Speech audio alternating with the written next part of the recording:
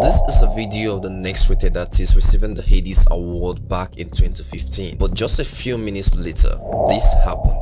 Fuck that shit! Sweet! And right after that, this followed.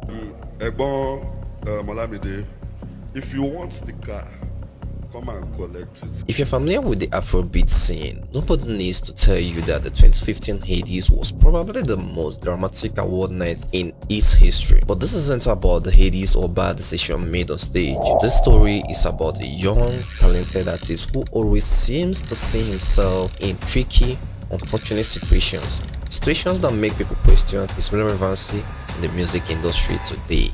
Afa, Melody for you. Ayoleyi Hanniel Solomon, born 6 December 1993, who is better known by the stage name Reekado Banks, is a Nigerian singer and songwriter. He is the last born child of six siblings from a family that adores music. His father is a pastor from Isaroni Fedora, local government area, Ondo State, and his mother is a caterer. He grew up in the seminary setting due to both of his parents being pastors. He completed secondary school at the age of 14 and started recording his first set of songs in 2008.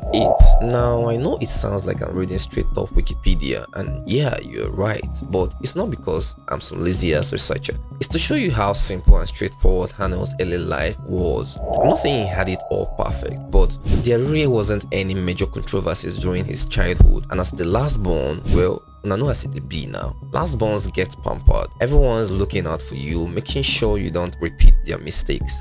Last ones they enjoy you. I'm the last child of six. Wow. All the other ones are, you know, grown up and they've handled them to a certain extent. And when it got to my turn, it felt like they eased up a little bit. And they were just like, do what you want to do. What you want to know? Yeah, so- Are you done? Ah! So when the family realized he had musical talent, naturally they wanted him on the right path, especially his older brother Temi. Once Temi saw those little poems Hannah was writing, he didn't waste time. He learned music production so they could create music together. Their dad even built a home studio so they wouldn't have to run around the street looking for one. I mean, considering the fact that my dad is a pastor. Exactly. Yeah. And he never just, he never opposed. In fact, he was the first, he was the person that built me my first studio. Mhm.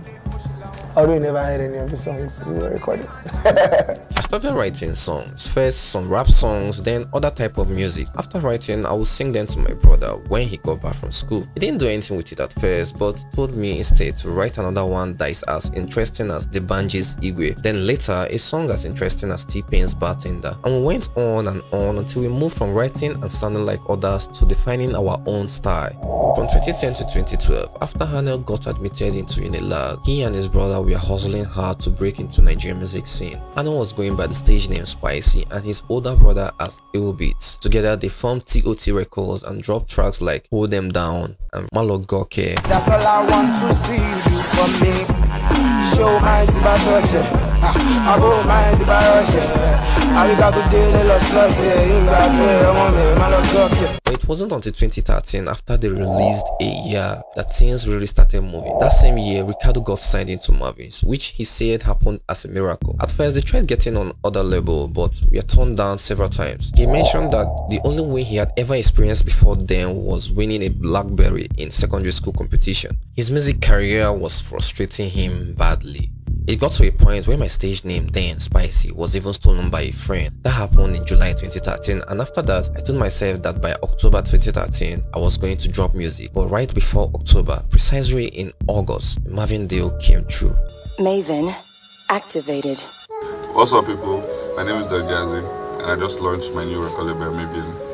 At this time, Don Jazzy had just ended his relationship with his defunct label Mo'Hits and was building a new team with his newly formed Supreme Mavin Dynasty aka Mavin Record. He put out a tweet about wanting to listen to demo tapes from new artists. That's when Hannah's brother Temi saw the post and sent all their music to the label without him even knowing. The only thing he told me was to keep praying that something big might happen soon. So he sent another and thank God I got picked. The day we had to go, he just told me to get ready that we are going to Don Jazzy's studio. I was like, Don Jazzy's studio?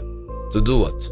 I believe his brother formed TOT Records as a clever way to make Reekado look like an established artist. All their tracks were recorded in their room, but Temi packaged it so well that when the opportunity with Mavin came up, he didn't waste any time pushing his brother's music. And as luck will have it, Anne was picked out of 5,000 submissions. At this time, I didn't even have a phone. My brother did. He saw it and he sent my song. And to cut the long story short, out of 5,000 entries, I was the only one chosen. When we got there, they made me record six songs in two hours. They just kept playing beats and asked me to sing.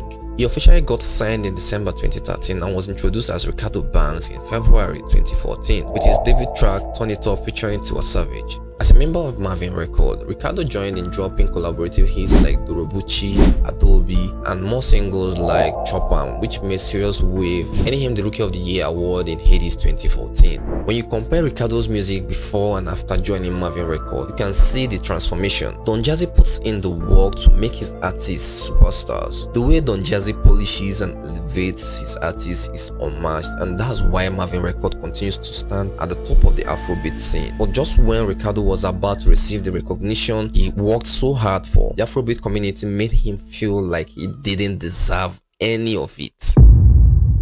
The Headies, originally known as the Hip Hop World Award, started in 2006 and quickly became the most prestigious music award in Nigeria. Among all its categories, the next rated award stands out because the winner takes home an expensive car.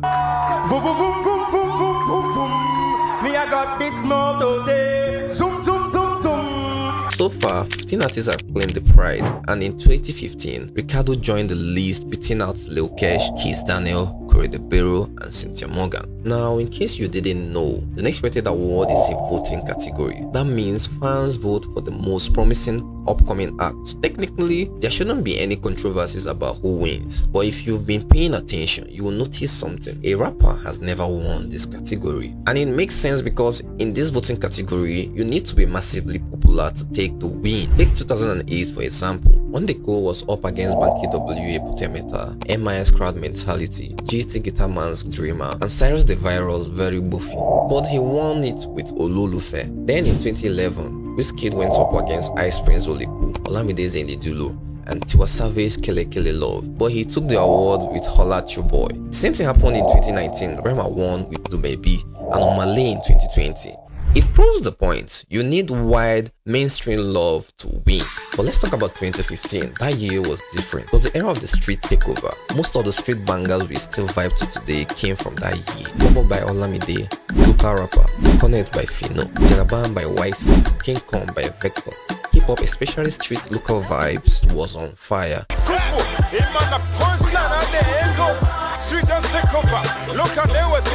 And with that kind of energy, Lil Kesh signed under Olamide YBNL was the front runner. The guy was on fire with hits like Efe Jokumio, Shoki, and Bwese. Me, I was thinking if it wasn't Lil Kesh for the next rated award, then it had to be Kiss Daniel. I mean, Liar is still one of Kiss Daniel's songs that holds up memories for me. But then, something unexpected happened. The winner for the next rated 2015 is Reekado Banks. Reekado Banks won the next rated award with the track Katapot. What? This shock, yeah, it felt like what Macklemore did to Kendrick at the 2014 Grammys. People were not having it, especially Olamide, who was banking on Lil Kesh winning the award. You know, Adekunle Gold, let's be honest, this award belongs to Lil Kesh because Lil Kesh is our next rated artist. Fuck that shit! Baba Yaya! Street takeover! Every fucking single was a hit back to back. From lyrically to Shoki to FS Joku, kò ní ta fún ìyá anybody. And of course, Don Jazzy had to reply. Um, Egbon um, Olamide, if you want the car, come and collect it. God bless you. This sparked a beef between Mavin Record and YBNL, but it didn't last long. Olamide and Don Jazzy squashed the beef and even issued a joint apology that same year. I'm here to say a big sorry to the Headies crew, Big TV crew, and So, But despite that, the drama surrounding the award tainted Reekado's win. It left many people feeling like he wasn't truly deserving. Thanks to Don Jazzy's counter speech though, Olamide couldn't steal all the shine from Reekado that night. The Mavin shield made him look untouchable and no amount of fan criticism could break through. Now, don't get me wrong, oh, Reekado Banks is an extremely talented artist. His debut album Spotlight 2016 was a huge success. Talk more of the bangers he has dropped after then till date. The guy is good and he has a unique way of making hits that stands out. But let's be real, Mavin Record has this special formula that pushes the artist to another level. That's what a good label does, right? However, that protection didn't last long. After Reekado left Mavin and ended his contract in 2018, things started to shift. It's a decision that, as we will later see in this video, might be one he will regret. If he had to go on a hit battle with any fellow Nigerian artist, who would that be?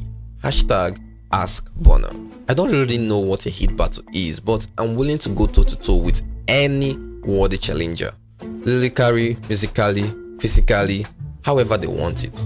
This was during a Q&A session Burna Boy had with his fans on Twitter, or X as it's now called. With the challenge on the table, Reekado stepped up confidently and responded, At Burna Boy, I'm game. That energy, let's get it. But the reply he got, no one saw that coming. Burna Boy didn't just decline, he brushed Reekado aside saying, Ha ha ha ha, you know I got so much love for you bro, but didn't you see when I said worthy challenger? Rikio, oh, Omo. Boy was basically saying, who be this one, Kwano? That one tweet went viral and it left fans wondering, had Reekado Banks fallen off? To understand where things started to go wrong, we have to rewind to December 2018. Reekado had just left Mavin Record and 9 months later, he also parted ways with his elder brother Temi, who had been his manager since day one. Reekado stated that his vision had grown and he needed people who could see as far as he sees. I needed, I wanted to get somewhere else. Okay. the vision became a lot farther. Like I saw bigger and different. Yeah, I saw farther than I used to see, and I just needed somebody that would see as much. But after leaving the people who helped him build his career, 2020 seemed to bring more bad news than good. Just a few months after Burna Boy's shade, the EndSARS protest gripped the country. It was an emotional time for Nigeria, with people fighting against police brutality. Justice for all deceased victims of police brutality and appropriate compensations for their families. In the midst of all this, Reekado tried to drop a collaborative track he had with Wizkid called Omo Olomo. Now, Reekado has always been a huge fan of Wizkid. You can check his past tweets, but what he got in return wasn't what anyone expected. As Reekado Banks, Clout Animal, hashtag EndSARS. Delete this dude, can't believe you are even doing this at a time like this. Old song, hashtag EndSARS. Fool. It was a highly sensitive time and it wasn't the best moment to promote music when people were focused on such a serious issue. But words like Clout Animal and Fool show just how little respect his peers had for him in that moment. What was I supposed to do? Hmm. Management had it right. They told me that the song was good to go. I just felt disappointed, like Like why? like You want to say it in Yoruba? Oh, I, I, it's I, I know the feeling. Yes, like you yeah, want, yes, Gilede. that's how like you felt. Like you don't even reach like this. it's like, not that deep. Yeah, so it just made me understand that I wasn't respected Uh-huh. as much as I thought on his side, you know. So Yeah. it's just like I did my lane then. There's no doubt that this kind of disrespect wouldn't have been possible if Reekado was still under the canopy of Mavin Record.